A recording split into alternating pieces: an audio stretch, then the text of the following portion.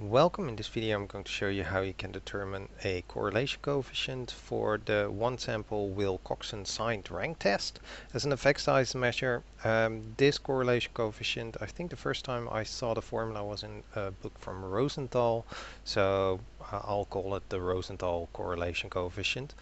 Um, it's the z value divided over the square root of the sample size. Uh, unfortunately, SPSS doesn't have a direct way of calculating this, but it does have a way to uh, get that Z value fairly uh, quickly and the sample size. So what we can do is analyze. Uh, first off, by the way, this is this example file that I'm using, uh, and I'm going to be using Accounting Scientific, uh, which ranged basically from 1 to 4.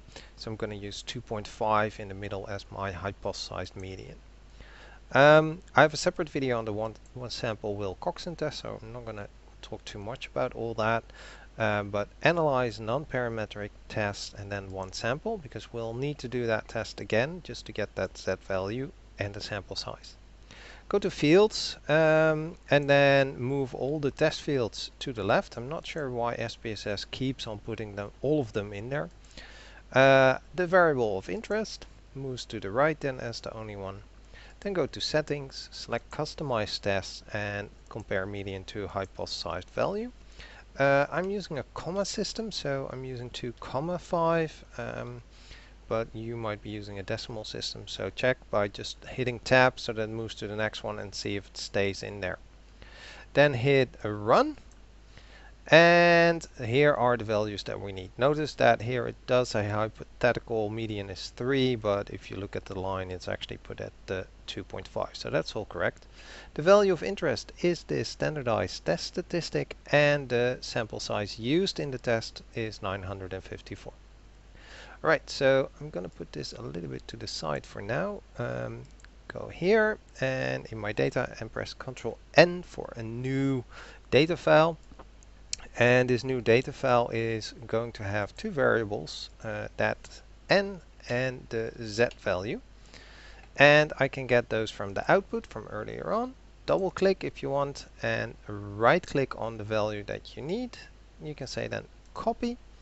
I go back to my uh, data file the new one. Go for n right click paste and go back to the output uh, the pivot table, I actually have it up here.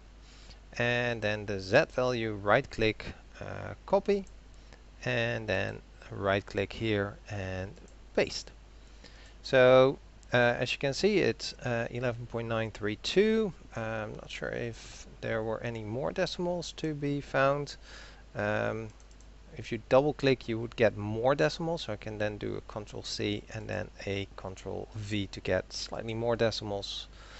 Um, now for that correlation coefficient uh, it can be quickly calculated using uh, sorry transform then compute variable and I'm gonna call it R and we need the square root function. Uh, let me check. Here's the square root.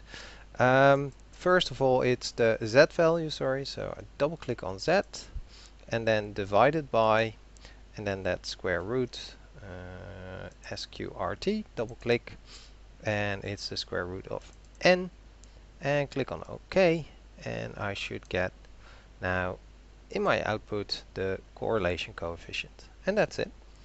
Right, um, hope in the future that SPSS actually um, adds an option to calculate this or add it directly, but for now this will do. Uh, hope it was helpful and thank you for watching.